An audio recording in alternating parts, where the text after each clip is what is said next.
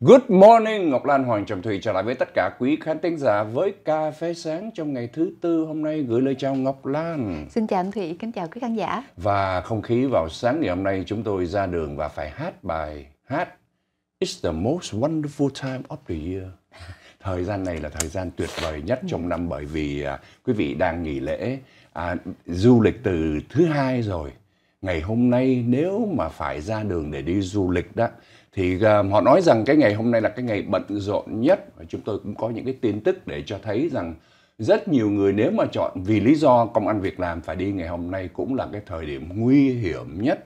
Bởi vì ngày hôm nay mà đi đó là cái rủi ro sẽ dẫn đến cái tình trạng delay hoặc là hủy bỏ các chuyến bay. Chưa kể đó là dự báo thời tiết cũng cho thấy một số các khu vực từ miền Tây nước Mỹ, Oregon, Seattle, California cho đến New York luôn có những cái trận mưa bão rồi thay đổi thời tiết sẽ dẫn đến chuyện delay nhưng mà hy vọng chúng ta vẫn hy vọng là sẽ không xảy ra bất cứ cái những cái chuyện này đâu một lần.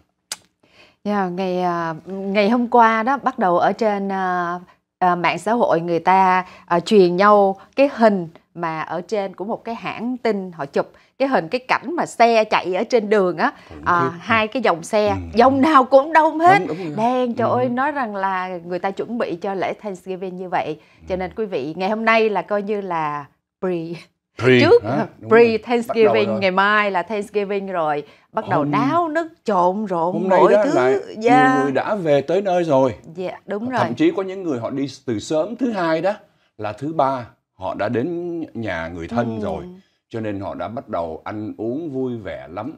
Và bên cạnh đó ngày hôm nay cái tin lớn nhất trong ngày hôm nay đó thưa quý vị là thỏa thuận đạt được giữa Do Thái và Hamas.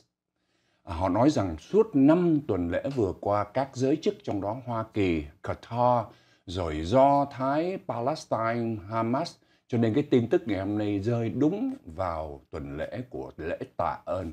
50 con tin này đã chính thức đến bây giờ chắc có lẽ là họ đã lên uh, xe chuyển sang Do Thái và có thể lên máy bay. Chưa biết có bao nhiêu con tin à, người Mỹ hoặc là những người ngoại quốc. Nhưng mà đổi lại đó, 4 ngày ngừng bắn và trong đó thêm 150 người Palestine được uh, Do Thái trả tự do.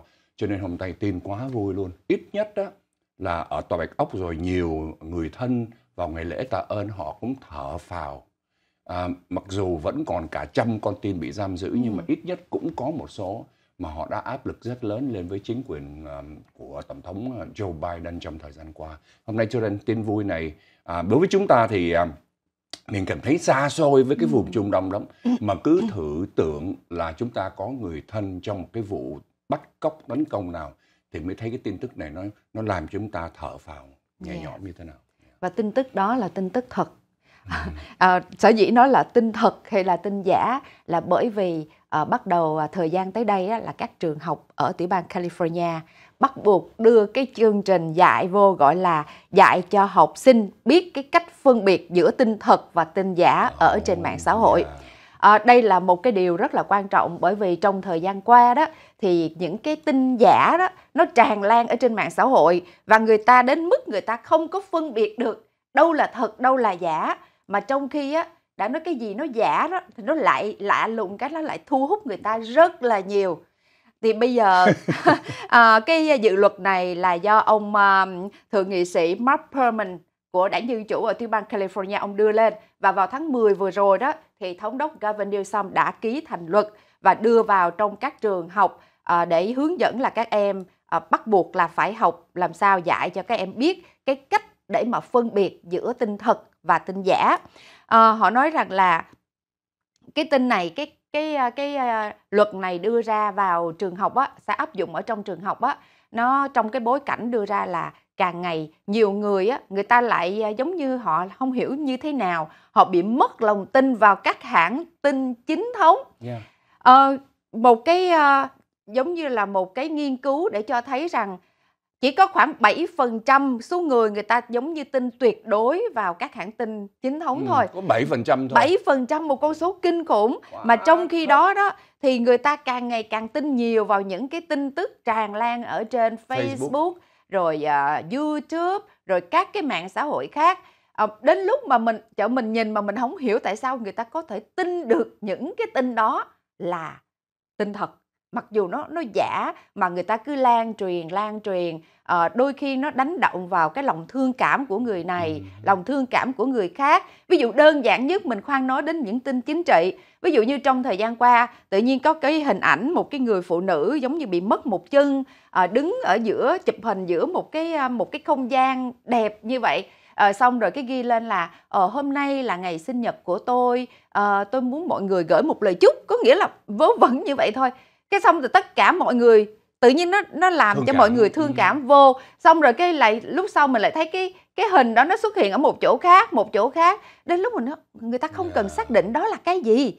nhưng mà người ta vẫn tin đến yeah. độ đó thưa quý vị có những kẻ đó à, chúng lấy những cái, cái cuộc thi thi hát đó American Idol hoặc là Best Talented những người mà tài năng đó chúng ghép hình chúng vào rồi chúng đưa lên YouTube ừ. mà cả triệu người xem mà tưởng rằng tại sao cái anh chàng xấu xí như thế mà họ không phân biệt được cái ghép hình yeah. bởi vì họ ghép rất hay ừ. lúc mà thì họ hát họ nhép miệng y chang luôn nhưng mà rồi có lúc thì hình thì chuyển chuyển sang cái người giám khảo đang chấm điểm thì nếu mà không để ý đó thì tưởng ô anh chàng này gốc người Nam Dương và tại sao hát tiếng Anh mà vào trong cái giải thi American Idol được cho nên có những cái chuyện mà trên YouTube rất nhiều. À, thế nhưng à, chuyện thật ở đây à, hồi nãy chúng tôi có thưa đó là cái số lượng năm nay à, AAA đó à, cái công ty mà chuyên môn khảo sát về cái lượng người đi tới đi lui họ cũng có bảo hiểm nữa đó. À, họ cho biết được cái số lượng người Mỹ sẽ rời khỏi nhà rất đông. Tuy nhiên nếu mà đi vào những phi trường phi trường nào bận rộn nhất phi trường nào delay nhất và phi trường nào bị cancel nhiều nhất hủy bỏ chuyến bay thì đây là cái danh sách này hy vọng không biết được quý vị có thấy rõ hay không à, à, phi trường bị ảnh hưởng delay trì hoãn chuyến bay nhiều nhất là ở Fort Lauderdale, Florida. May mắn là chúng tôi chưa bao giờ bị bị trì hoãn hết. Nhưng mà tùy tùy khi quý vị di chuyển vào mùa du lịch này đó đây cũng là những phi trường bận rộn và dễ bị delay. À, không có hủy bỏ nhưng mà delay cũng phiền bởi vì chúng ta đến bình thường họ nói rằng chờ nửa tiếng bị delay đó nửa tiếng một tiếng đồng hồ là chuyện rất là bình thường. À, chúng tôi sẽ tiếp tục đưa ra cuộc khảo sát và danh sách này được đưa ra dựa trên số người mà họ đã đến các phi trường này dựa trên các dữ kiện của các phi trường để đưa ra cái danh sách ít nhất là 10 phi trường trên nước Mỹ này bận rộn, delay và cancel. Mời quý vị cùng theo dõi ngay sau phần quảng cáo.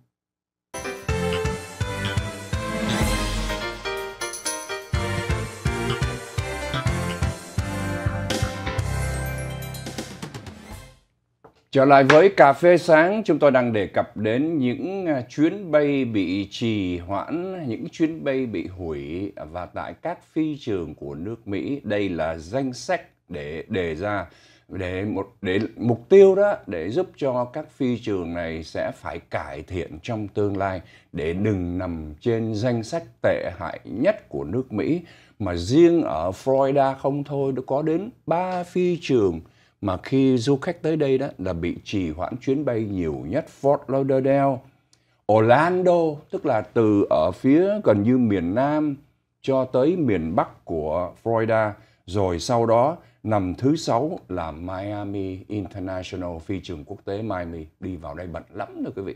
Thường là quý vị đi sang Florida đó, người ta đề nghị nên đi Fort Lauderdale nó đỡ hơn Miami, bận rộn vô cùng. Đó là most delay trì hoãn nhiều nhất. Thế nhưng các phi trường mà bị hủy bỏ nhiều nhất nghe thì nó hơi ghê gớm phải không ạ?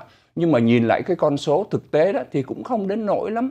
Bởi vì à, trong 100 chuyến bay đó thì có 2,61 chuyến bay. Hoặc là 1.000 chuyến bay đó thì họ có khoảng à, hai à, hai à, gần 3 chuyến bay bị hủy bỏ, vân vân 2.61 thôi. À, và vài chục chuyến bay à, Dallas nè. Rồi à, Fort Lauderdale hạng nhi bị hủy bỏ. Nghĩa là bị trì hoãn và bị hủy bỏ nhiều nhất. Rồi đến à, Newark ở New Jersey, rồi LaGuardia New York, vân vân, rồi Dallas Fort Worth, à, Texas. Busiest airports phi trường bận rộn nhất, trong đó có Los Angeles nằm số 5, đứng hạng thứ năm.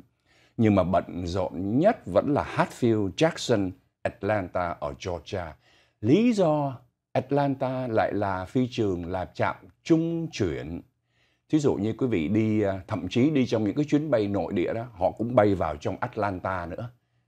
Rồi à, nhất là bay, bay sang châu Âu đó, là cứ đáp phải đáp xuống Atlanta hoặc là từ châu Âu đi vào thì phải ghé qua Atlanta. Vì thế đó lại là phi trường bận rộn nhất. Dallas Fort Worth bận thứ nhì. Wow! Bởi vì sao? Cũng là các trạm trung chuyển. Dallas Fort Worth quý vị để ý đi, quý vị bay từ New York hoặc là thậm chí từ Florida đó. Nếu mà quý vị không có non-stop, tức là bay thẳng đó, thì quý vị sẽ phải ghé Dallas Fort Worth. Thường là như vậy. Rồi uh, Los Angeles, JFK uh, à, hiện nay đứng uh, sau Los Angeles, Las Vegas. Cái phi trường nó nhỏ xíu như vậy mà quý vị tưởng tượng không? Không biết bao nhiêu chuyến bay nó vào cho nên cũng là phi trường bận rộn nhất số đứng hàng thứ bảy. Đó, đó là những uh, các chuyến bay. Ngoài ra đó à, lúc nào là thời điểm bận rộn nhất để rời khỏi nhà? Hôm nay. Ừ. hôm nay là cái ngày bận nhất đó Ngọc Lan. Đừng có nên chọn cái ngày hôm nay để di chuyển. Thế thì cái ngày nào mà ít uh, đi di chuyển nhất? Mai. Ngày mai với ngày thứ sáu hai ngày đó tuyệt vời ngày mai đó phần lớn nó có thậm chí có những người mà họ di chuyển 50 dặm đó. Tức là họ lái từ San Diego lên tới ờ, Los Angeles để thăm người thân. Thì đến ngày mai họ mới đi. À cho nên đi có chút xíu là tới rồi. Đó hoặc là di chuyển trong uh, tiểu bang thì ờ, chúng tôi cũng có những cái tin tức để họ có cái cuộc khảo sát về cái chọn lựa của người Mỹ năm nay khi mà họ di chuyển như thế nào mà chính xác luôn tới mức phần trăm luôn đó Ngọc Lan yeah. mình sẽ coi cái đó xong rồi ai coi cái nó cũng né cái giờ đó ra cái xong yeah. cái giờ khác nó bắt đầu nó đông lên thưa quý vị người ta nói rằng là có tiền mua tiên cũng được yeah.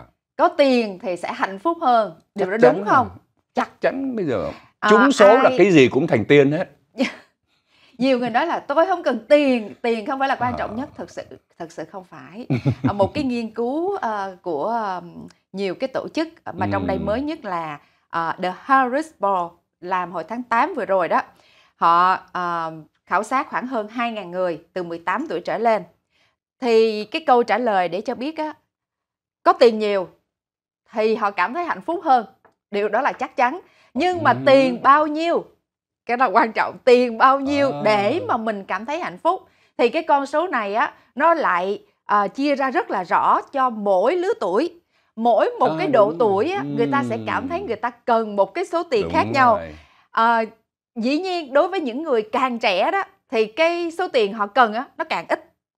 Tại Ủa vì họ yeah, dạ, họ họ chưa cảm thấy tôi là tưởng... có cái gì là nó oh, nó nó quan trọng. người trẻ ví dụ nhiều ước mơ là nói đây ô phải không? thêm nhiều tiền. Người đây ở đây á là người ta tính bắt đầu ở từ 18 tuổi trở lên thì người ta chia ra. Ở đây quý vị sẽ thấy anh Thụy với quý vị sẽ thấy họ chia ra ở mức độ độ tuổi 20 30, 40, 50, 60, 70 uhm. thì ở độ tuổi 20 họ chỉ cảm thấy á ở đây á cái mức ờ, ở đây cái cái cái chia này hay lắm mà Ngọc Lan có lần nói nhiều người á chưa có hiểu khi mình nói cái trung bình ừ. trung bình có nghĩa là sao tức là mình cộng hết lại ví dụ bây giờ người ta uh, khảo sát 100 người thì họ lấy cái mức cộng hết đó lại xong rồi họ chia cho 100 thì cái đó gọi là trung bình ừ. nhưng cái nếu như mà ở đây á nếu mà cái tính cái trung bình đó thì những người ở độ tuổi 20 á phải có 90.000 trở lên một năm thì ừ. họ mới cảm thấy hạnh phúc.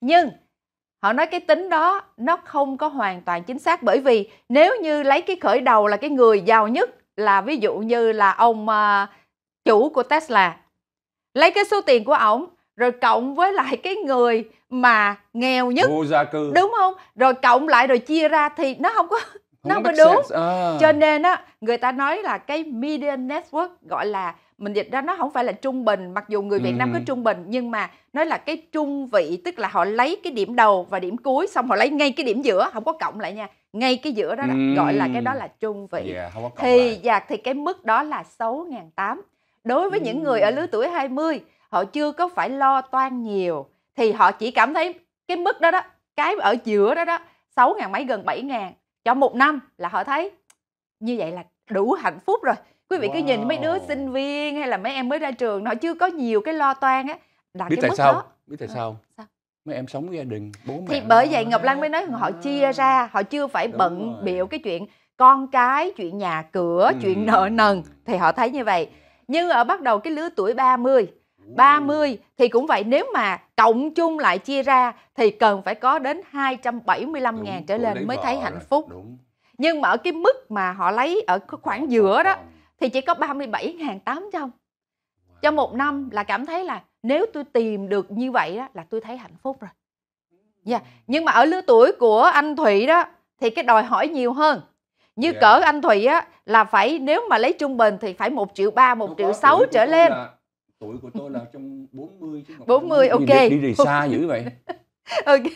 Rồi, 40 là khoảng 700 ngàn cho trung bình Cái nhưng mà chia À, ra ok. đó ờ, lấy ở cái mức giữa là 137 ngàn. Cũng Trời nhiều. Ngọc Lan cũng thấy cái Ồ, mức đó là mình thấy cái quá cao, hạnh mức phúc cao rồi. quá. cái đó là bắt đầu rất là nhiều làm sao Thì- mà có được Thì bởi vậy 137 đó ngàn ở đó là cảm thấy hạnh phúc rồi. Cho nên phần lớn như người ta không có cảm hạnh không phúc không cảm thấy hạnh phúc. bởi vì không đạt được cái Đúng số đó. vậy. Ờ, cái cái tính toán này như thế nào và người ta cảm thấy là cái thu nhập họ họ chỉ cần thêm bao nhiêu là họ thấy hạnh phúc rồi thì xin mời quý vị trở lại với chúng tôi sau phần thông tin thương mại. cầm trong tay số tiền đó nhiều quá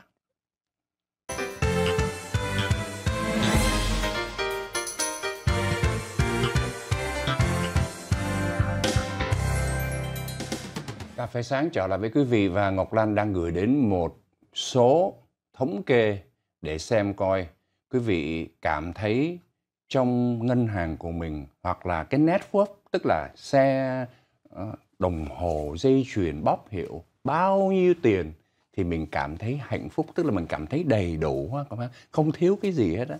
Thì thì bao nhiêu nhưng mà có con số mà hồi nãy chúng tôi nhìn thấy đó 40 tuổi là bao nhiêu? 40 tuổi nếu mà tính là average là trung bình cộng Ừ. hết lại chia đều ừ. thì sẽ là 723 ngàn không cái đó thì quá đáng rồi không Ngọc Lan nghĩ á, ở đây họ khi mà họ nói cái net worth là gì cộng chung hết ừ. đôi khi mình chỉ nghĩ đến là ồ cái tiền lương hàng tháng thôi nó không phải nó Ngọc Lan nghĩ là tổng tài Đúng rồi, sản đúng, đúng, không đó, đó, đó. thì có cái cái nhà vô là thấy ờ, lên đến mấy trăm ngàn rồi nhưng mà nếu mà cái nhà đó với điều kiện đó là mình trả hết trả nghĩa là cũng đi phân nửa rồi được 15 năm thí dụ như là mượn nợ 30 năm mình trả được 15 năm rồi đó thì Yeah. còn còn lại đó tức là mình có được cái equity ở trong Đúng nhà rồi, đúng đó, rồi. thì mới được thì thì à, đối với cái tuổi lứa tuổi 40 đó thì cái mà à, tính trung bình ra là 700 mấy nhưng mà tính ở cái mức độ ở Đúng. ở giữa thì 137 ngàn Đó, đó. là người ta thấy hạnh phúc Ừ. ở cái lứa tuổi 50 á thì phải trên 1 triệu 1 triệu ba Đúng. thì thì là trung bình nhưng mà khoảng 307 ngàn ở cái mức chính giữa thì người ta thấy là người ta có thể hạnh phúc. Thì nó chia ra càng lớn tuổi thì mình thấy rằng cái cái cái con số đó nó càng lớn hơn. Thì Ngọc Lan nghĩ cũng dễ hiểu. À, càng lớn người ta bắt đầu người ta có những cái đầu tư này kia cộng cộng lại xe cộ bắt đầu trả hết rồi Ừ. nhà cửa trả hết rồi vân vân. Thì họ thấy khi đủ như vậy là hạnh phúc. Ở cái tuổi mà 70 là trên 400 ngàn là tính ở cái mức mà ở giữa đó. Thì à, mặc dù là đây là cái con số mơ ước Ừ. người ta nói đúng rằng vậy. á mọi người tham gia cái nghiên cứu đó mặc dù cái số tiền mà họ nghĩ rằng là họ có được cái đó là họ- thấy hạnh phúc rồi các con số nó khác nhau nhưng mà tụ trung hết cộng chung hết người ta nói nếu như mà khi mà họ cảm thấy họ có trong tay một triệu rưỡi tổng cái tài sản của họ triệu rưỡi họ thấy họ hạnh phúc một triệu một triệu hai một triệu rưỡi là họ thấy họ hạnh phúc thì ngọc lan nghĩ chắc mình mà rơi vào số đó mình cũng cảm thấy hạnh phúc nhưng mà một cái điều trớ trêu á là đến 73% trong số những người tham gia nghiên cứu họ nói rằng đưa ra cái con số để thấy 73% người Mỹ đều trong cái tình trạng là khó khăn về tài chính. Đó, vậy. 73% Ừ. mặc dù đó là con họ cảm giác là hạnh phúc là như vậy nhưng mà ai cũng cảm thấy là mình đang khó khăn về tài chính hết và đến một cái số ở đây 32% ước mơ nhỏ nhoi lắm quý vị 32% người Mỹ nói rằng chỉ cần mỗi tháng họ có thêm 15.000 đô la. Hoặc là hoặc là có người á họ nói là bây giờ bất chợt Chỉ tôi có chỉ có thêm 15.000 đô la là nó là một cái sự thay đổi đáng kể ở trong cái đời sống của tôi. Một thay đổi rất là đáng kể trong đời sống. Cho nên à, tiền có mang lại hạnh phúc không? Thật sự tiền là mang lại hạnh phúc. Nó có thể làm thay đổi rất là nhiều thứ mặc dù người ta nói là tiền không phải là tất cả nhưng mà không có tiền thì cũng không có gì cả nhưng mà hoàn toàn dựa vào tùy theo mỗi Đúng, một quan đúng điểm vậy. của mỗi Ừ. người và đời sống và nhân sinh quan của người Ừ. đó chúng tôi nhớ hoài à ông anh ông nói một câu đó à, và đây là cái mấu chốt triết lý để sống nè Ừ. thế thì làm thế nào để cảm thấy hạnh phúc đúng rồi làm thế nào để cảm thấy hạnh phúc đây thì đây là cái câu nói mà quý vị sẽ thấy đúng vô cùng luôn. Nếu quý vị nghèo tính theo cái mức lương nghèo đó Ừ. mà quý vị không cảm thấy mình nghèo. Làm mình hạnh phúc là Đúng là hạnh tức phúc. là đó thực một cái là như vậy. một cái nôm na đó nếu cảm thấy mình đủ là nó đủ. Là đủ dạ sao? là là hạnh phúc. Nhưng mà cái đủ của mỗi người nó sẽ khác nhau hết. Như thế Đó, nào là đủ đó, mỗi đó, người? đó. Ờ, tôi chỉ cần có một chiếc xe để chạy một Không cần phải là nơi- Lexus, dạ, hả? một cái nơi một căn Xe nhà thôi. để ở thì đó là hạnh phúc nhưng mà cái xe đó từ một chiếc là Kia hay Toyota Ừ. hay là Lexus hay là cái gì thì đó là tùy theo mỗi người một căn nhà để ở một cái, cái à, một cái condo hay là một cái single house một single house hay là một cái biệt thự đó là tùy theo Hay cái là đủ của cái mỗi phòng. người yeah. Đó. tùy theo cái đời sống cho nên à, quý vị thấy cái con số Ngọc Lan đưa ra đó đó là lý do tại sao những người mà họ hoạch định tài chính Mỹ đó, họ mới nói rằng ở cái tuổi 50 trở đi đó, mới thấy ra trong này nè. Phải, quý vị phải có cái tài sản chuẩn bị cho mình một triệu đô la trên. Thì về hưu mới được, mới cảm thấy là sống đầy đủ cái khi mà về hưu, phải có được trên một triệu Mỹ Kim. Nhưng mà tôi hỏi quý vị, chứ có bao nhiêu người mà về hưu, tức là tuổi 67 trở đi, mà có trong tay một triệu đô la? Không có không thể có được. Rất là khó. Có. Có tính cái mà- nhà vô là có. Tính cái nhà luôn hai vợ chồng thì đúng quý vị quý vị thấy không? Cho nên á, đó là lý do tại sao người Việt Nam mình làm gì thì làm phải có được cái nhà nữa. Mình sống mình trả xong cuối cùng cái nhà đó cho con của mình. Mình sống ở trong đó cuối cùng con nó hưởng hết.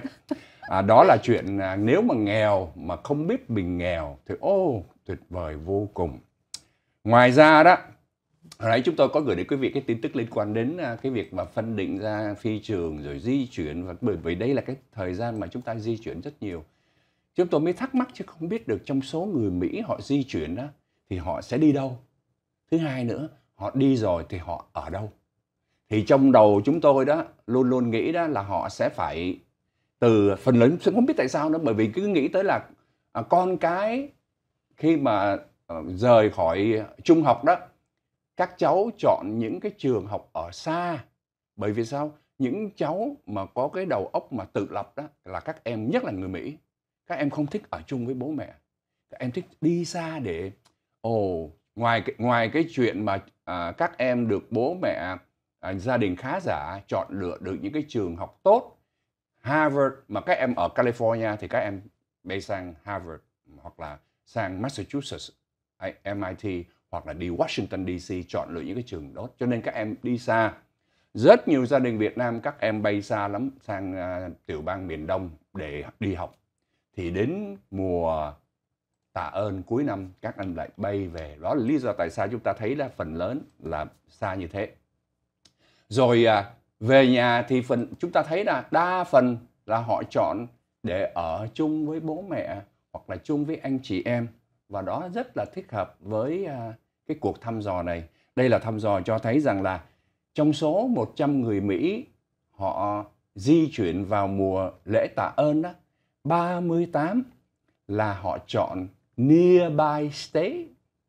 Cho nên đó là lý do tại sao người ở miền Nam California hay chọn đi Las Vegas, Nevada lắm. À, họ chọn gần cái tiểu bang hoặc là đi sang Arizona, nearby thôi, hoặc là sang Seattle hoặc là Oregon, Utah vân vân. Rồi sau đó là những cái à, sắp xếp này để chúng ta tìm hiểu thêm những cái việc mà người Mỹ di chuyển như thế nào quý vị nhé. Ngay sau phần quảng cáo.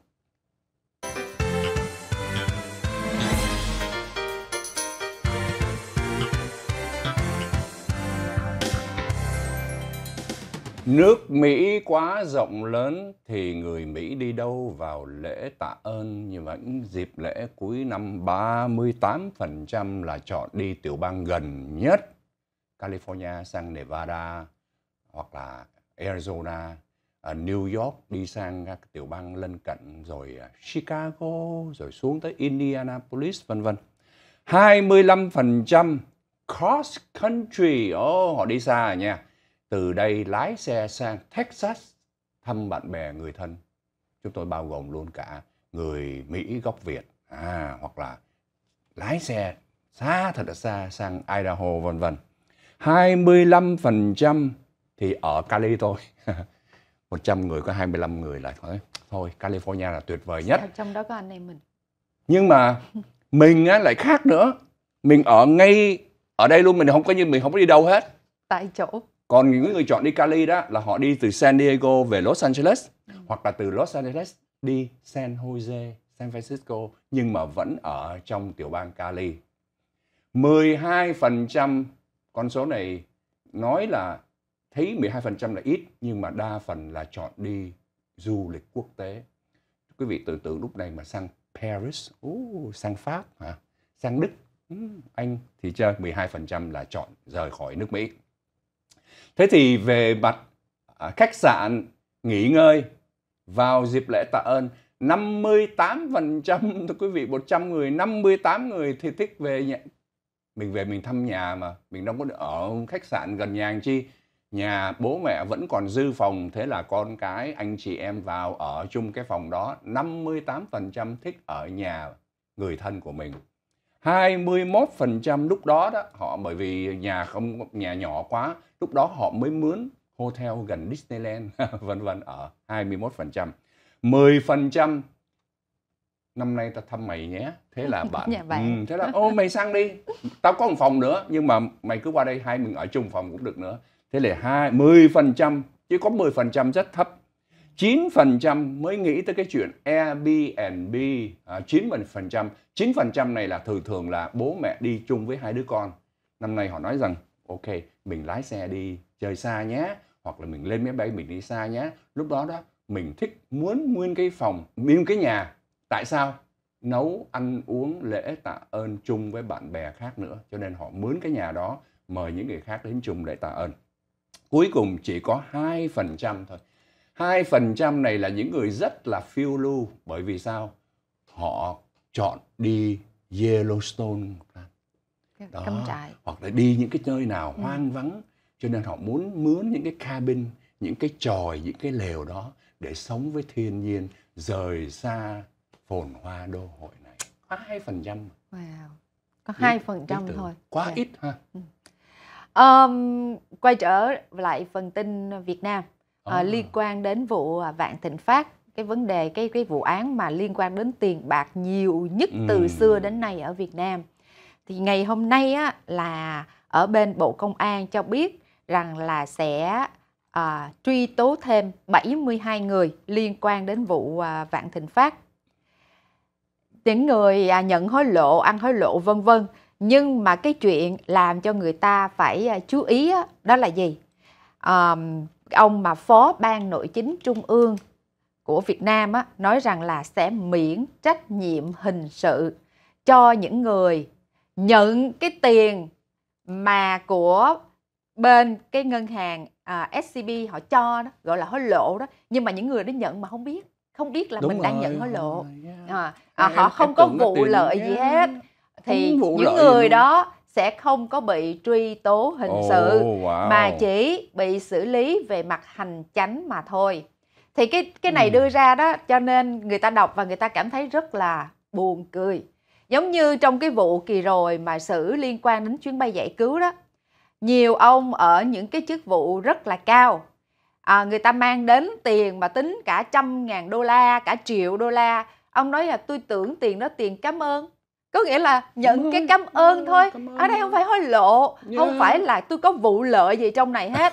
Đó thì ở Việt Nam cái đó được đưa ra để xem như là miễn tội có nghĩa là không có tội. Như vậy thì bây giờ cái lằn ranh giữa yeah. cái chuyện nhận hối lộ và cái chuyện mà nhận tiền mà tôi không có tư lợi gì trong này người ta cho tôi lấy thôi.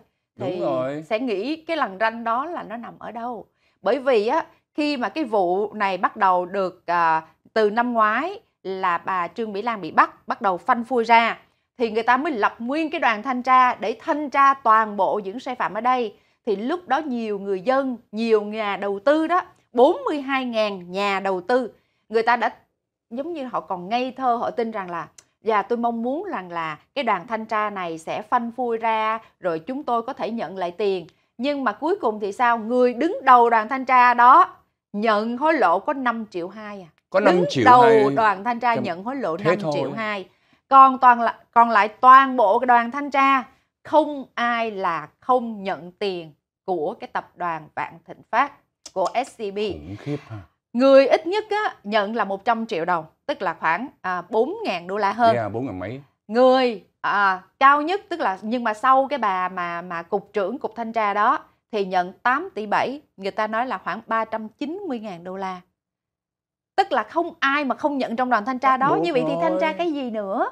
Thanh tra cái gì nữa? Cho nên là uh, mặc dù họ nói cái vụ này đang đưa ra để xét xử người ta đang tìm hiểu một cái con số khổng lồ cái tiền mà người ta nói bây giờ viết cái con số ra một triệu tỷ mình đọc mà mình còn cảm thấy cái là không biết mình mình đọc đúng hay không một triệu, triệu tỷ, một triệu tỷ đồng tức là nó khoảng Khủng trên khiếp. 42 43 tỷ đô la đó cái con số mà mình nghe trời ơi đó giờ mình nghe đến là ngàn tỷ thì bây giờ là một triệu tỷ thì cái tiền đó làm sao rồi như thế nào? Nhưng cái quan trọng họ nói là không có dễ mà một cái tập đoàn tư nhân ngân hàng này là ngân hàng tư nhân mà có thể làm những cái chuyện như vậy mà trong suốt cả 10 năm mà không ai biết. Có thể nó là một cái sân rửa tiền của những đại gia của những quan chức nó là như thế nào. Và cái chuyện mà hôm nay cái người này bị bị bắt, thật ra nó chỉ là cái phần nổi của một cái tảng băng trôi mà thôi.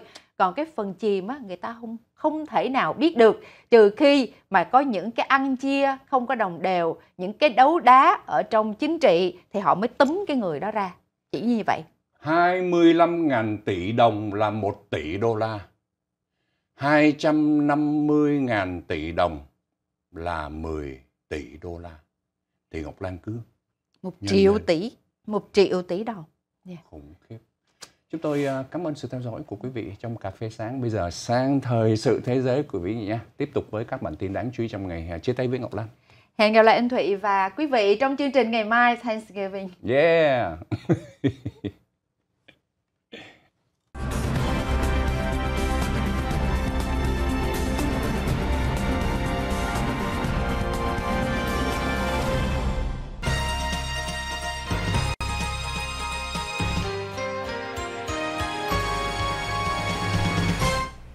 Thảo Yên. Hoàng Trọng Thủy trở lại với tất cả quý khách thính giả từ Cà phê Sáng sang Thời sự Thế giới ngày thứ tư tiền lễ tạ ơn. À, chúc quý vị thật nhiều niềm vui bắt đầu trong ngày hôm nay đoàn tụ gia đình ăn uống no say quý vị nhé. Và thời tiết hôm nay vô cùng lý tưởng phải không Thảo Yên? Vâng thưa quý vị và thưa anh hôm nay đó coi như là gió nóng bắt đầu rút từ từ rồi ừ. cho nên hôm nay là quý vị thấy à, dễ chịu hẳn à, không có còn gió thổi ù ù nữa à, nhưng mà cái nhiệt độ thì vẫn khoảng đâu 80 81 ừ. có giảm so với ngày hôm qua à, đến nhưng mà bắt đầu từ sau 6 giờ đó thì quý vị thấy là bắt đầu rớt xuống còn có 58 59 thôi là lạnh lạnh. Qua đến ngày wow. mai là sụt hẳn xuống còn có 69 70 rồi à, trời âm u. Ngày mai đó thì chưa có mưa nhưng mà đến thứ sáu à, họ nói là cái cơ hội mà mưa thì gần 20% lận thưa quý vị. Chỉ qua đến ngày chủ nhật thì mới thấy là nắng khô ráo. Ừ, dạ vâng. quá tuyệt vời. Bốn ngày nghỉ thưa quý vị ngày mai. Ngày mai là 70 độ. Vâng cho nên quý vị tụ tập ra vui cho tới sáng thứ sáu thì trời vẫn tiếp tục đẹp như thường. Thị trường tài chính ngày hôm nay làm có nửa ngày thôi. À, bây giờ thì à, à họ đang chuẩn bị kết thúc. Thực sự họ vào xem rồi cái tình hình thế nào rồi à, chúc mừng nhau rồi kháo nhau hôm nay mày ăn cái gì ăn kia đại loại là như thế làm có nửa ngày À, Dow Jones lên được 107 điểm. À, sáng từ sáng tới giờ vui. Cho nên cái không khí lễ hội nó giúp cho người tiêu thụ và họ nhìn thấy các báo cáo như sáng nay trong cà phê sáng chúng tôi đề cập đến cái chuyện mà di chuyển đó, 12% di chuyển bằng máy bay đi international bay sang rời khỏi nước Mỹ để đi nghỉ lễ bắt đầu bây giờ đó. Nó rất à, đông vui. Và delay cancel không thấy nhiều. Delay thì có, nghĩa là chờ nửa tiếng, một tiếng máy bay, bởi vì máy bay ờ, chưa bay đến kịp, vân vân. Cũng ảnh hưởng đến thời tiết một chút xíu, nhưng mà tin tức đều ờ, tốt đẹp.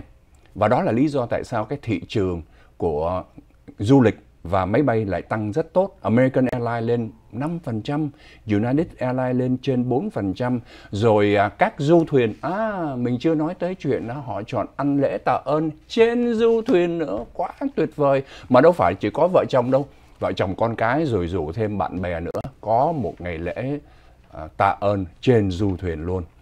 À, thị trường Nasdaq lên được 72 73 điểm, S&P 500 lên trên 16 điểm. Trong khi đó, công trái phiếu 10 năm là 4,43%, 30 năm là 4,57. Giá dầu hôm nay như thế nào? Quá tốt đẹp. Đáng đời Ả Rập.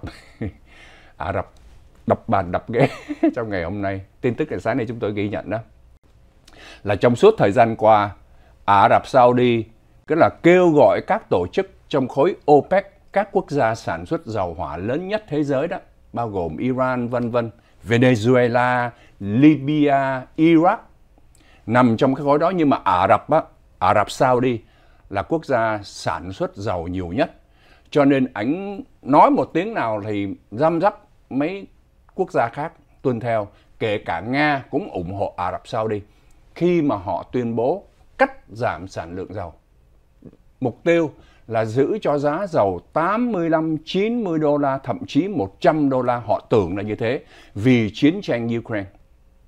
Sau đó là xảy ra cái vụ mà chiến tranh vùng Trung Đông. Ai cũng tưởng là sợ rằng có thể dầu lên tới 140 đô la luôn nữa nếu mà cái chiến tranh này nó lan rộng ra. Ai ngờ cái giá dầu nó cứ rớt dần, rớt dần, rớt dần. Và điều này có nghĩa mặc cho anh Ả Rập Saudi kêu gọi đàn em mà các quốc gia à, láng giềng là cắt giảm, họ không có cắt nhiều. Nỗ lực là cắt bao nhiêu triệu thùng đó để giữ cho giá dầu cao ở mức 80-85 đồng.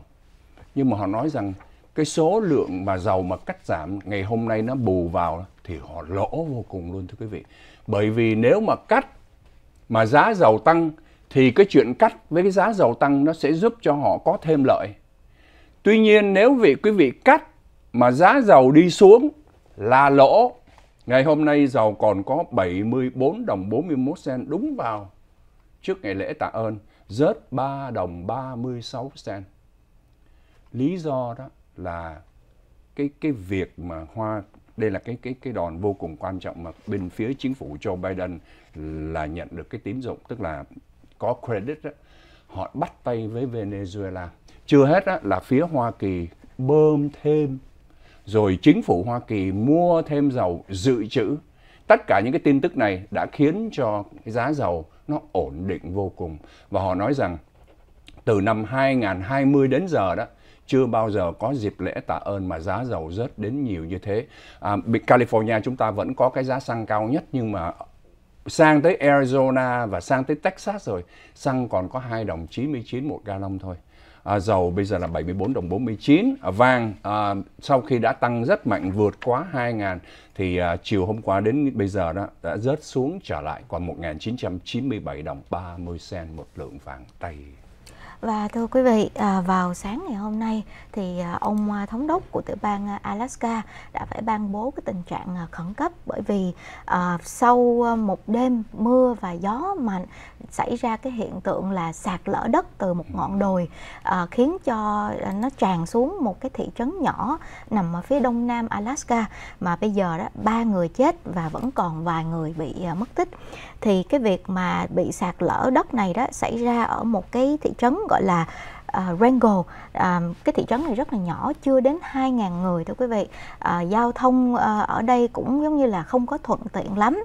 Thì phía uh, bây giờ đó uh, cơ quan khí tượng của Alaska cho biết là tối hôm à, thứ hai là ở cái khu vực này đó mưa liên tục rất là nhiều.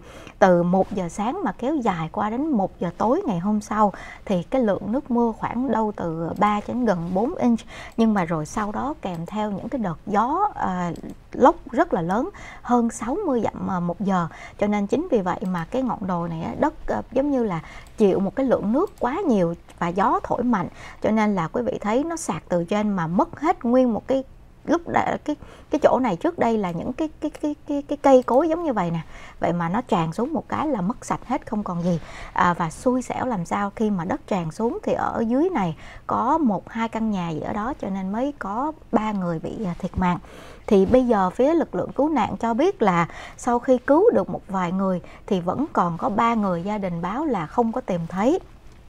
À, phía ông à, thống đốc cho biết là đã ra lệnh à, di tản hết tất cả những à, gia đình nào mà ở xung quanh cái ngọn đồi à, chảy à, à, nhìn ra cái phía cái con sông này. Tại vì cơ quan khí tượng họ báo là tối ngày hôm nay ở cái khu vực này ở Alaska lại tiếp tục có một cái đợt mưa nữa kéo dài qua cho đến ngày mai. Thì à, chắc chắn à, là cái nơi này lại sẽ sạt lở đất tiếp nữa.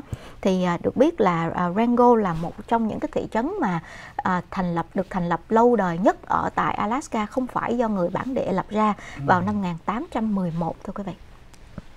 Ngày hôm nay à, mới à, sáng nay chúng ta lại thấy một cái bản tin liên quan đến nhà đất. À, họ, đấy, bản tin này cho thấy cái quan điểm chúng ta nghĩ rằng San Francisco là nơi đắt đỏ nhất, rồi à, New York là nơi đắt đỏ nhất đó. thì không phải như thế. Lẽ đương nhiên là nhà Cupertino nơi mà các vị um, CEO của các công ty khởi nghiệp hoặc là những nổi tiếng như là Google, Facebook, Apple là tập trung ở Cupertino thì lẽ đương nhiên nhà đắt rồi. Nhưng mà so với Bel Air thì ngày hôm nay thưa quý vị họ nói rằng California này đây là nơi mà đắt nhất nước Mỹ luôn tính hết căn nhà trung bình ở Bel Air và khi mà nói tới Bel Air đó, mới đây ai cũng tưởng là khi mà nói tới Los Angeles là tưởng là Beverly Hills là nơi mà nhà đắt đỏ nhất. Không luôn. Cái thành phố kế bên Beverly Hills là Bel Air là nơi đắt đỏ nhất. Chúng tôi mời quý vị theo dõi thêm các chi tiết về khảo sát này, quý vị nhé.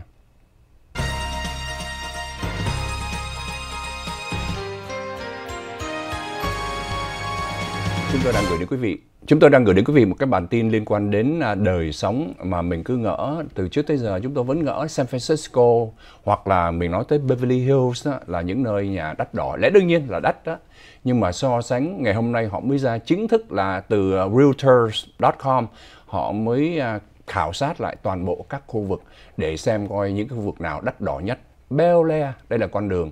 Phần lớn những cái căn nhà ở đây quý vị vào là có cổng và cái giá nhà nghe khủng hoảng luôn. Quý vị phải có 8 triệu 600 ngàn đô la mới vào trong này ở được. 8 triệu 600 ngàn là cái nhà nhỏ đó quý vị ạ. À vào Bel Air là cái nhà nhỏ bình thường thôi. Giống như chúng ta nói uh, giá nhà trung bình ở quận Cam là 800 600 uh, 860 ngàn đô la đó là Đúng, quý vị có 860 ngàn đô la thực sự cái nhà nó cũng vừa vừa.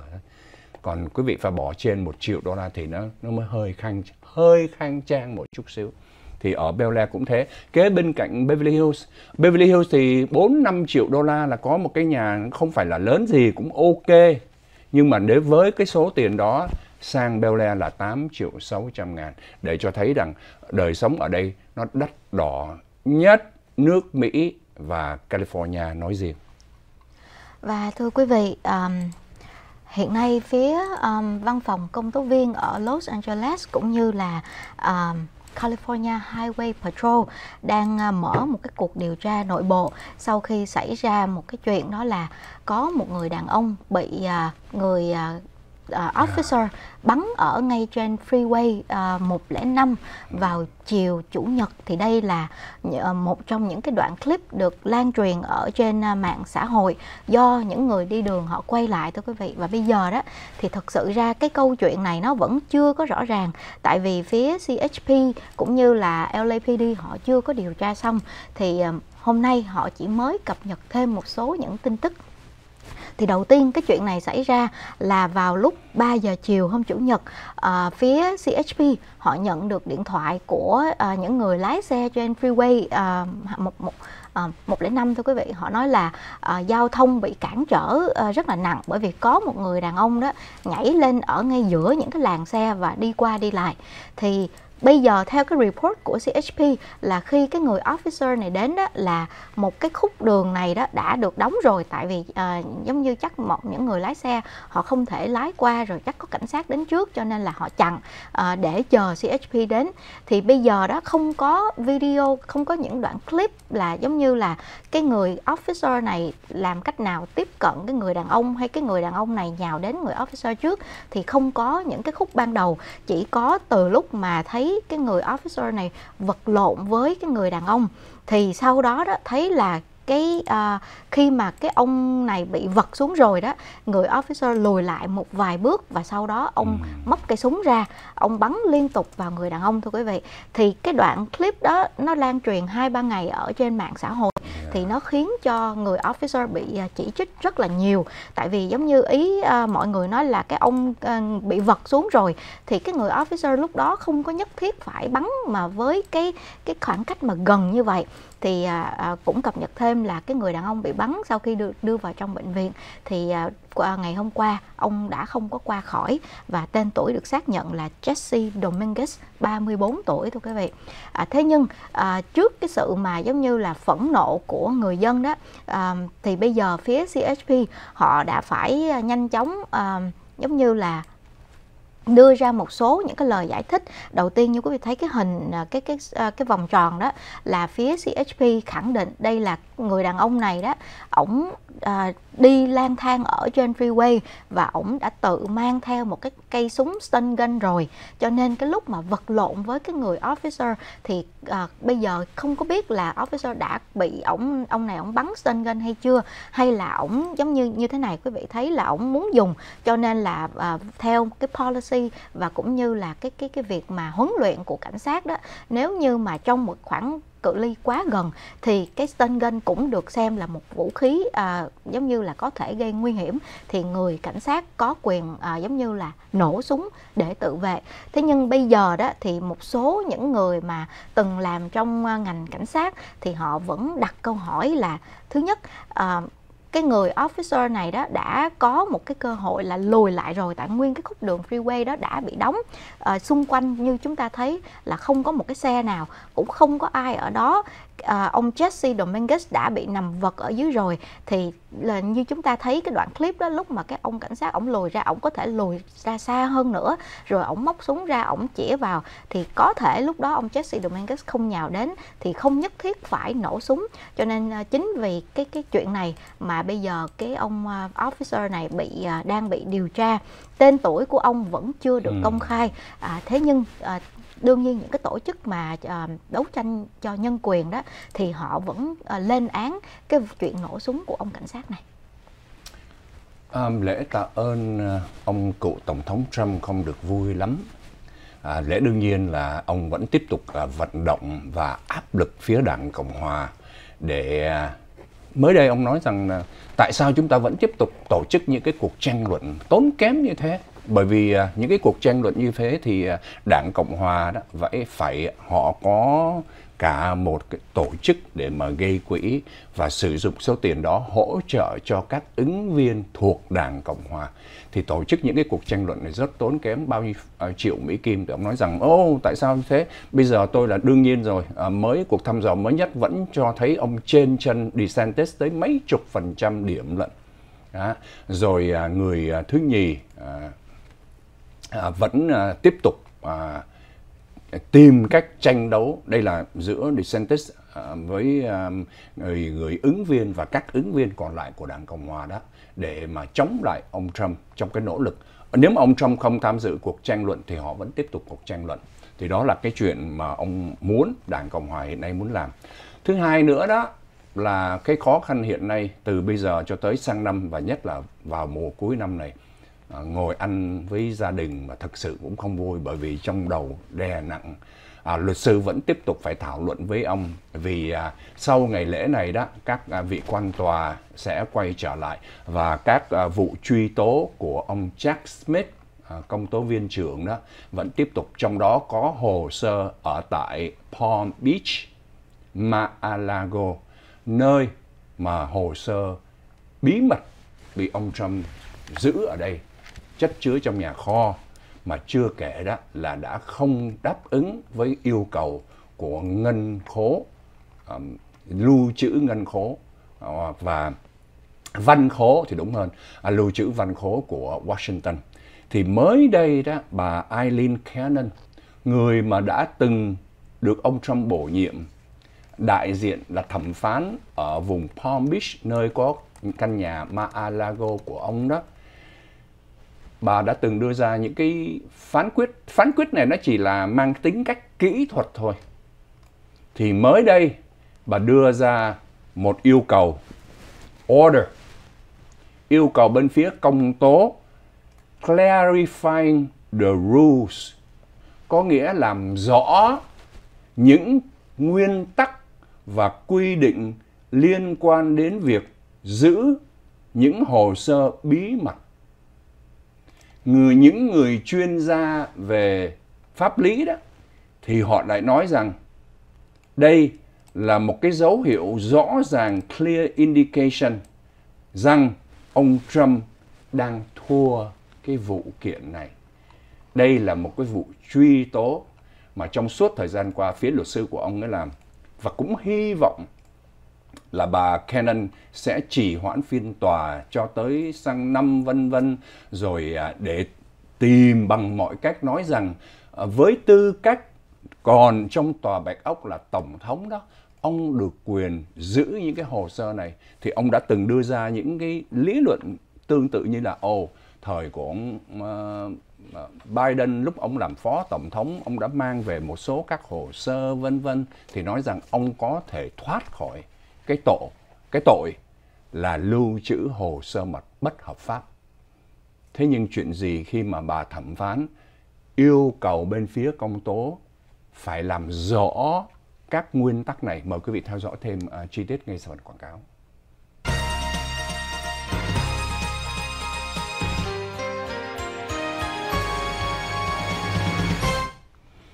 Thời sự thế giới trở lại trước khi gửi đến quý vị phần quảng cáo, chúng tôi đang đề cập đến à, tình huống à, khó khăn cho ông Trump liên quan đến luật pháp về hồ sơ mật.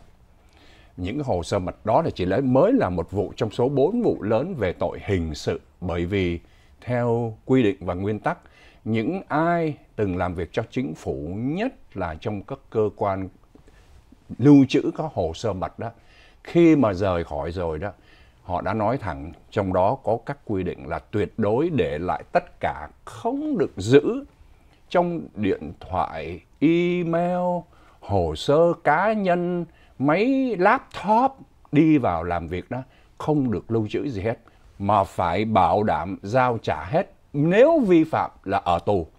Và trong quá khứ đã có những nhân viên chính phủ ngồi tù tới 3 năm. Hình phạt đủ hết.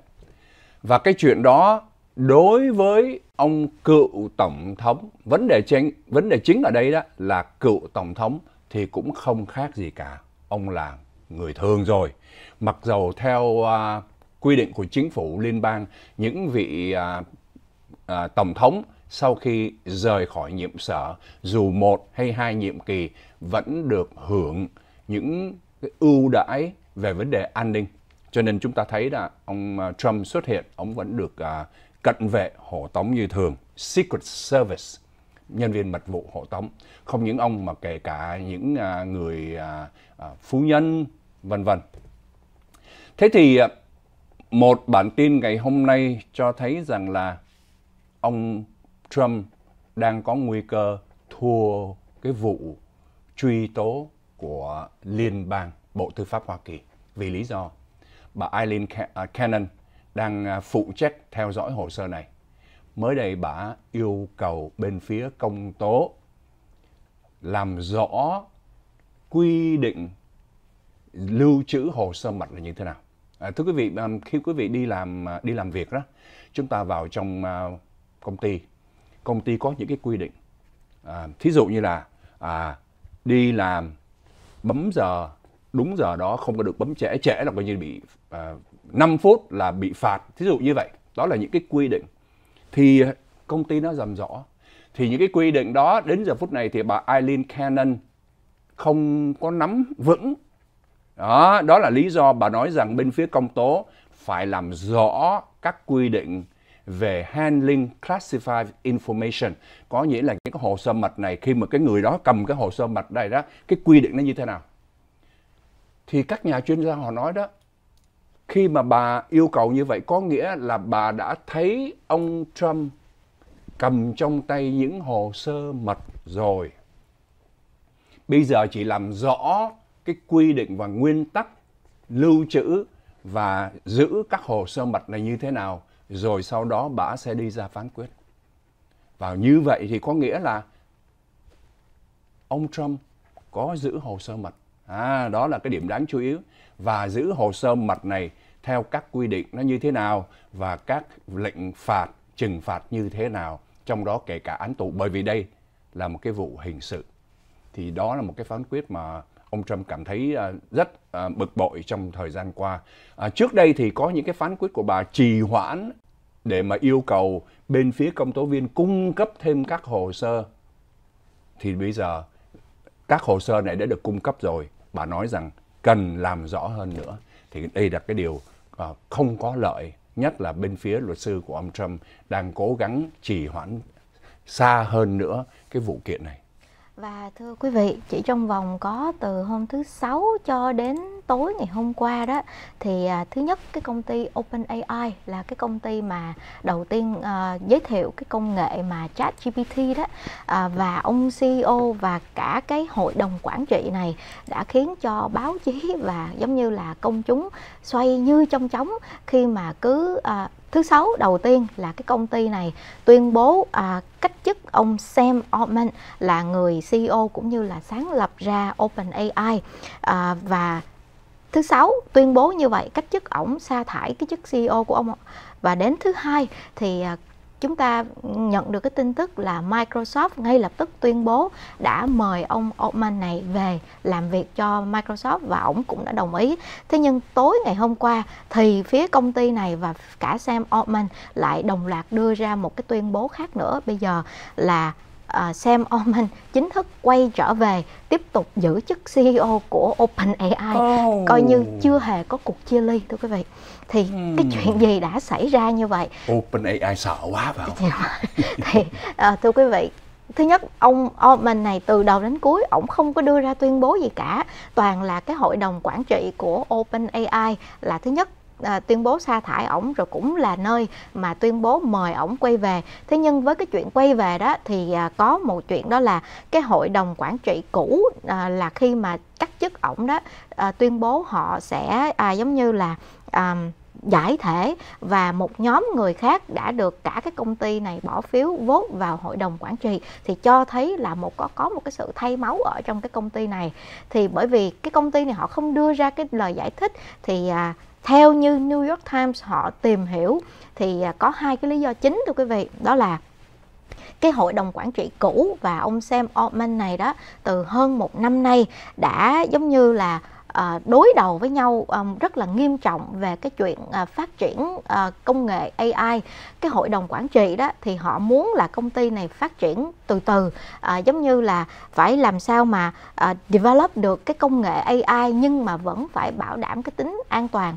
Chúng ta trong thời gian qua đó là bắt đầu các chuyên gia họ lo sợ cái chuyện là AI nó quá thông minh rồi nó sẽ giống như là qua mặt con người, vân vân. Thì cái ý cái hội đồng quản trị là muốn là không có để cái chuyện đó xảy ra nhưng mà ông Altman này ổng lại đi theo cái hướng là phải develop càng sớm càng tốt. Cứ có công nghệ mới là phải đưa ra thị trường là chắc để muốn lấy tiền về thưa quý vị. Thì cãi nhau như vậy cái hướng đi đã không giống nhau rồi. Cho nên là chắc ổng bị nguyên cái hội đồng quản trị này bỏ phiếu cách chức ổng. Ừ. tuy nhiên sau khi ngay cái ngày thứ sáu mà cách chức ổng rồi đó thì à, phía uh, Twitter à, xin lỗi quý vị bây giờ là X đó uh, ghi nhận là 2 phần 3 nhân viên, họ đồng loạt đưa ra một cái thông báo là nếu như mà cái hội đồng quản trị này không mời được ổng quay về thì họ sẽ nghỉ việc lúc đó là 2 phần 3 nhân viên thưa quý vị. Có thể đây là những cái người nhân viên từ những ngày đầu khi mà ông này ổng lập cái công ty này ra uh, trung thành với ổng. Thì khi mà uh, họ đưa ra cái thông báo như vậy từ thứ sáu kéo dài qua cho đến ngày thứ hai đó và khi mà Microsoft chính thức tuyên bố mời ổng về thì không còn 2 phần 3 nữa mà gần như 95% wow. nhân viên. Trong đó có cả những cái người mà hội đồng quản trị mà đã bỏ phiếu cách chức ổng đó họ nói là nếu như toàn bộ nhân viên mà nghỉ thì cái công ty này sẽ sụp. Cho nên chính vì vậy họ phải nhanh chóng đi tìm ổng năn nỉ bằng mọi cách ký uh, hợp đồng sau đó. Nói chung là và đồng ý giải thể cái hội đồng quản trị cũ wow. thì ổng mới chịu quay về. May quá là Microsoft chưa chính thức ký Đúng. ha. Dạ vâng. chứ mà xem Altman một người gốc do Thái thưa quý vị ký vào một cái là coi như là Open AI tan tành kinh khủng một cái quyết định à, gây ảnh hưởng bao nhiêu tỷ và cũng như cả một cái công nghệ Open AI. Chúng tôi trở lại ngay sau phần quảng cáo.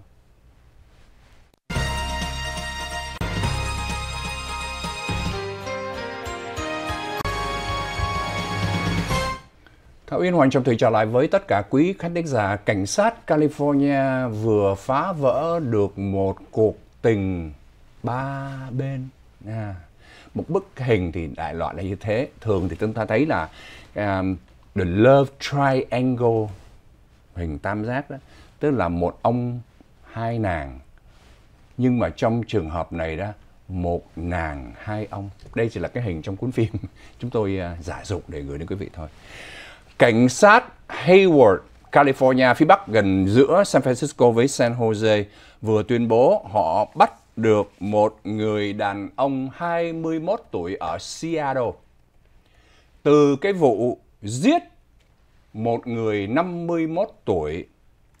Người đó, thưa quý vị, tên là Pawis Asa. Và trong trường hợp này, những cái tên liên hệ đó đều là người gốc Trung Đông Hồi giáo sống ở Hayward, California. Vào ngày 8 tháng 10, cảnh sát à, có điện thoại 911 báo là họ tìm thấy một người đàn ông nằm trong một vũng máu. Khi mà tới nơi thì nhân viên y tế họ biết thấy được ông đã bị đâm nhiều nhát dao, đưa vào bệnh viện qua đời.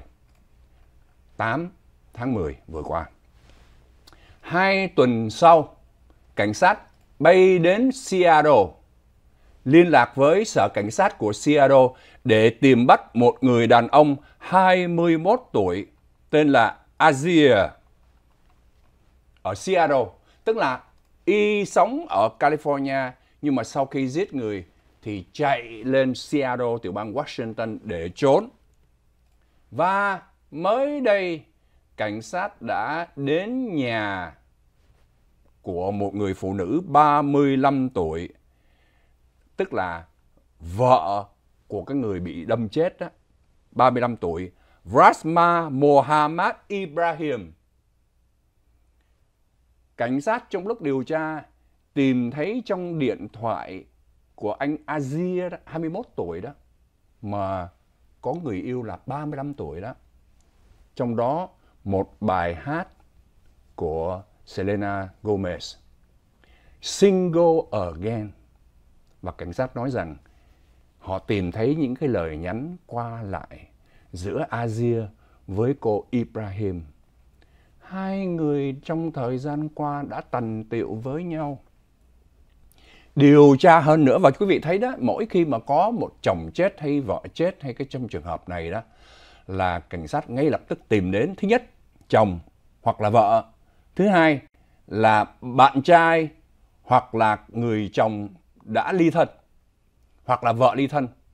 Họ điều tra cái đã, họ những cái mối trực hệ trước khi mà xảy ra một cái vụ chết một cách rất là vô lý.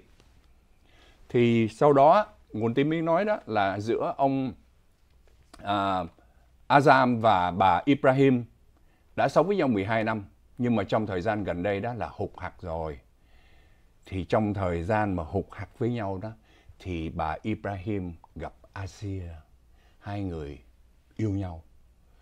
Thì trong lúc mà hụt hặc với nhau á, trong tiến trình mà ly thân ly dị đó, là cái quyền tranh chấp. Bởi vì ông 51 tuổi là cái người cung cấp, nghĩa là nhà cửa, rồi à, có con nhỏ con nhỏ lắm. Thì ông cung cấp mọi thứ, tài chính. Nhưng mà khi mà chia đó, thì có vì lý do À, là tài sản như thế nào đó thì bà mới nổi lên lòng tham và muốn rằng đó là lấy hết. Tức là quyền tranh chấp đó là trọng là cái tòa nói rằng là ông có quyền để nuôi dưỡng hai đứa bé và có thể lẽ là cung cấp nhưng cái số tiền mà phụng cung cấp um, cho bà đó quá ít ỏi. Bởi vì ông giữ mà cho nên cái không có chuyện child support. Cho nên bà khi mà quen được với cái người yêu này thì hai đứa mới tính với nhau là bây giờ là có cách nào tiêu diệt thằng cha này đi. Thứ nhất đó là hưởng tiền insurance. Thứ hai là em sẽ lấy được hai đứa nhỏ này và lấy được luôn căn nhà bạc triệu ở Hayward. Và cái hậu quả đó đã dẫn đến cái việc là cuối cùng cái người thanh niên mới có 21 tuổi thôi, yêu một cô nàng đồng ý để đi giết mà hắn nghĩ đó là tình địch bởi vì giết xong rồi đó sẽ về nhà ở chung một thời nghĩa là hai đứa tính nhau ghê gớm lắm ở tại hiện trường cái vụ giết đó là cảnh sát đã tìm thấy được những cái bằng chứng để cuối cùng tìm ra y ở bên Seattle. Hiện nay thì tên uh, đó đang uh, chờ để được dẫn độ về California xử tội và đang bị giam ở bên Seattle. Cô vợ cũ của cái ông Azim này cũng đang bị giam giữ ở nhà tù Hayward, đang chờ chuẩn bị ra tòa. Và thưa quý vị, vào ngày hôm qua thì à, công ty IRS tuyên bố sẽ tiếp tục trì hoãn cái quy định khai thuế đặc biệt cho những ai mà dùng mấy cái app nhận tiền là Venmo, Cash App hay là PayPal đó thưa quý vị. À, như năm 2021 chúng ta nghe cái luật mới là nếu như mà bán hàng mà nhận về trên 600 đồng một năm đó là cuối năm phải khai thuế cho cái mức đó. Thế nhưng IRS họ nói là à, bây giờ sau cái quãng thời gian mà họ à, xem xét đó thì họ nói là vẫn IS vẫn chưa đủ nhân lực và cũng như là chưa có cái cách thức nào để mà phân chia rõ ràng. Tại vì có một số những cái um, cái cái cái chuyện là, là phía IS họ vẫn chưa tìm được cách để giải quyết. Đó là chẳng hạn như quý vị thấy người Mỹ đó họ hay uh, uh, thí dụ như con cái hay là người thân ở chung nhà nhưng mà phải share tiền điện tiền phòng đó mỗi tháng bây giờ nhiều khi họ không đưa tiền mặt nữa mà họ trả bằng Venmo. Rồi à, thí dụ như họ bán một cái sofa hay cặp máy giặt máy sấy gì ở trong nhà đó. Rồi uh, họ đăng lên trên online có người đến uh, mua.